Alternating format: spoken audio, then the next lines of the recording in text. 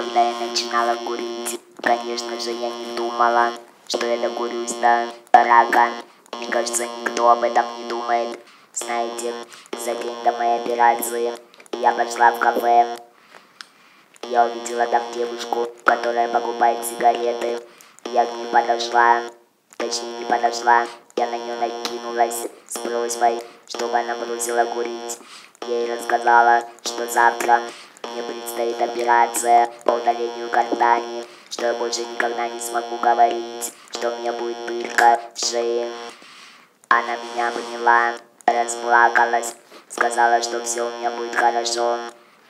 Когда я выходила из кафе, я увидела ее с сигаретой в руках.